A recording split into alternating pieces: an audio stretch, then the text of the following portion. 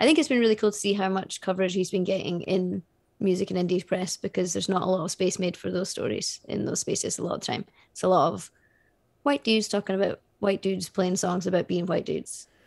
Yeah, yeah. I think though it's like you were alluding to earlier though. I think it's a great um, time. It's a great age for uh, women. I you know, and putting out great music and they are getting like the exposure like if you listen to uh, you know independent radio here or all these stations like as you mentioned there's so many great from phoebe bridgers to and um, japanese uh, japanese breakfast lucy dacus there, there are so so many even younger ones like clairo and uh, uh, there's another who, who's the big big star anyway. I don't want to get too off track, but she's um her Finneas. Finneas is uh Sis, that's a terrible thing to say. That's a strange way to describe it. I know. No, no, but Finneas. you know the producer.